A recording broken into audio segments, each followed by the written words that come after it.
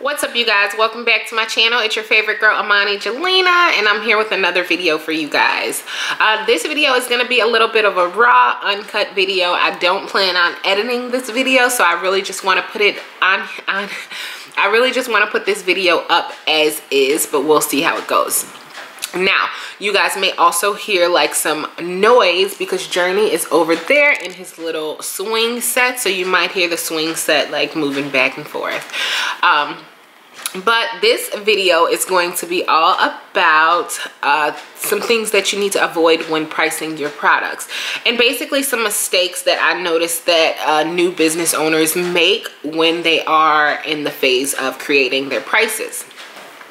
When you are creating prices it is a very difficult thing to uh, master just due to the fact that in the beginning you don't have tons of direction to go in and a lot of the times business owners don't necessarily know how much to raise their prices. You just kind of like learn as you go. But people like myself who's been there, done that, can, you know, give valuable information so you don't necessarily waste time or waste money or spend time not making enough money. Um, so that's why i'm here to like help some of you guys in case you guys are interested in creating prices. Uh, now i i also have a webinar and the webinar that i already had i'm selling the replay for and it's all about profiting. So if you guys are interested in that i'll leave that link on the well in the description box. It'll be the very first link in the description box and that webinar goes over how to properly price your products with a a consistent formula with uh, examples. It, it's You learn a lot of stuff in that webinar. So if you guys are interested in that, I definitely do recommend it.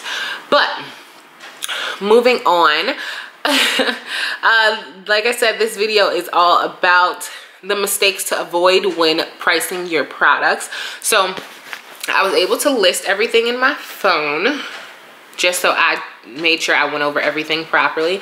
But the first thing that you want to avoid is um, creating your prices based off of your comp competitors' prices or your competition. And the reason I say that is because when it comes to, excuse me, when it comes to creating your prices, you don't necessarily know what the next business owner or the next business incorporates in creating their prices. And what I mean by that is like myself, when I create created my prices, all of my expenses are included. So my website fee monthly is included, my shipping fee is included. There's so much stuff that's included into my actual price list structure.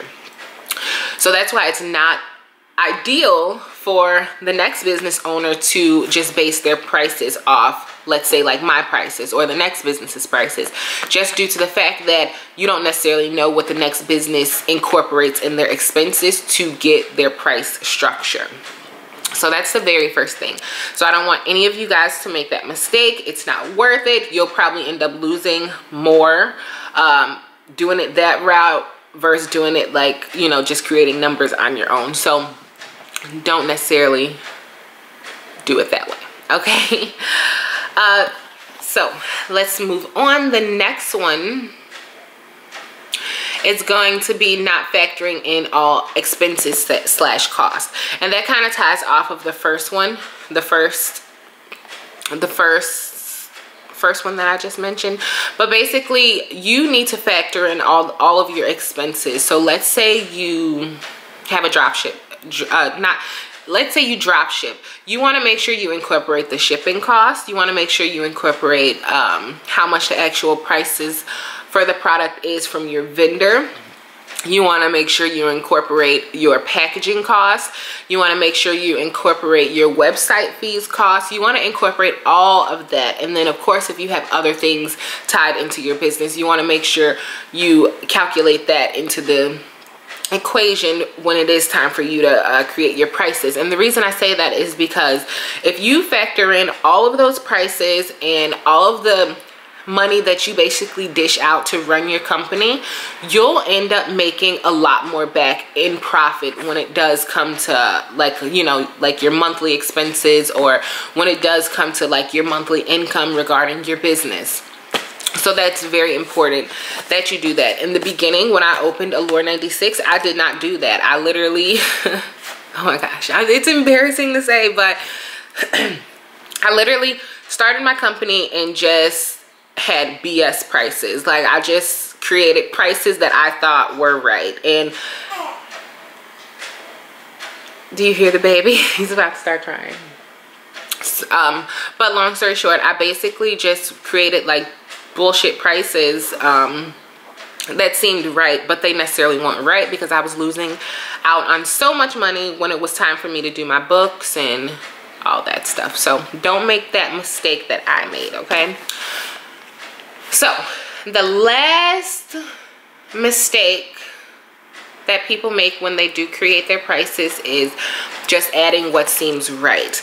And what i mean by that is a lot of the times when I'm talking to different business owners, they just say like, oh, I just added $35 to my vendor's prices or I added $15 or $20 or $25. And mm, yeah, that sounds like you're adding a lot, but you're not. If you're not factoring in all of the prices it takes to run your business, you're not making any money. So that $30 that you tacked on yeah now just think about it. When you get those items shipped it's typically 25 30 35 40 dollars 50 dollars 60 dollars to get those items shipped to you depending on how much inventory you order at once.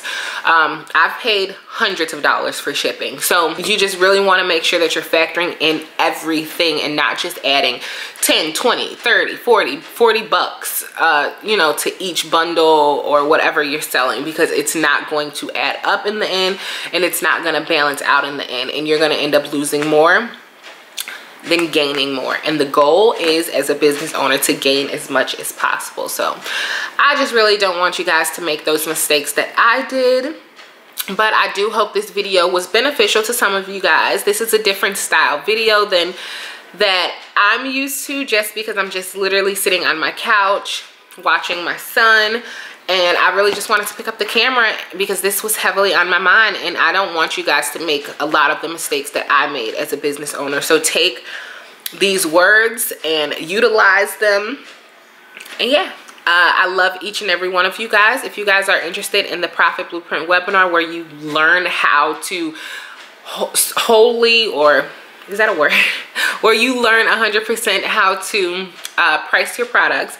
I'll leave it right in the description box for you. It's a replay and then you also get a, a review guide uh, to look back on with tons of examples tons of definitions so you guys legit understand everything when it comes to pricing your products.